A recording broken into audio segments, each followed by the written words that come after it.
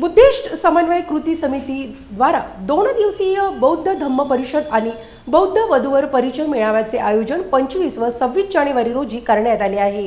या सोळाव्या बौद्ध धम्म परिषदेत विविध कार्यक्रमाची रेलचेल राहणार आहे. सव्वीस जानेवारी रोजी सकाळी भिकू संघ धम्म परिषदेचे उद्घाटन डॉक्टर प्राध्यापक भिकू सम्यक बोधी नागपूर यांच्या हस्ते होईल.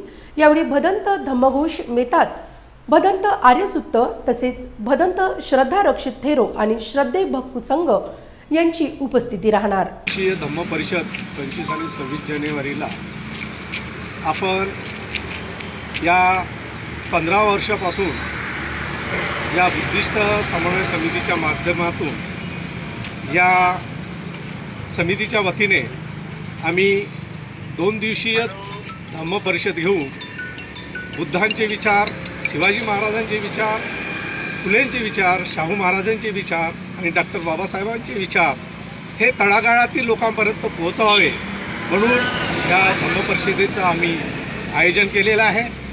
पंचवीस आणि सव्वीस जानेवारीला या धम्म परिषदेच्या वतीनं पंचवीस जानेवारीला सकाळी आठ वाजता रॅली आहे.